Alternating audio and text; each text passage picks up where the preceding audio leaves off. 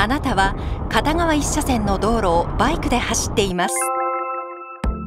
交通量が多く道路は渋滞しています。道幅に余裕があったので停止車両の右側を通り抜けています。この時あなたは何に注意しますか？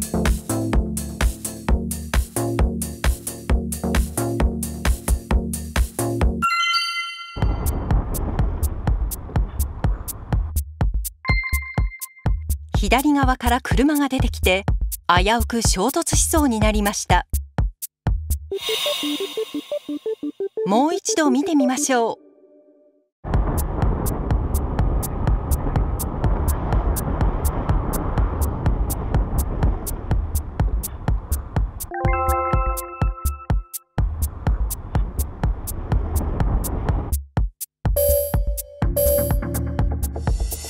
停止車両の隙間に車の一部がわずかに見えていました。また駐車場の看板から車が出てくる可能性を予測する必要がありました。駐車場から出てくる車の視点で見てみましょう。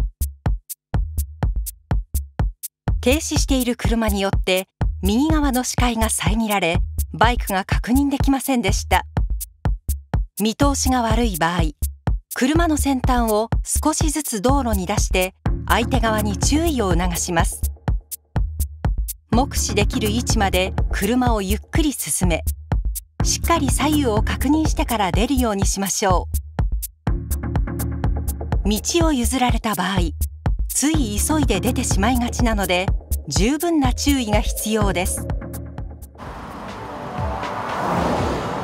バイクは渋滞中でも停止車両の側方を走ることができますが停止車両によって周囲の安全確認が十分できず事故の危険性があります今回のように左側に駐車場や路地があったり車列に隙間がある場所ではそこから車が出てくる可能性を考えておきましょう。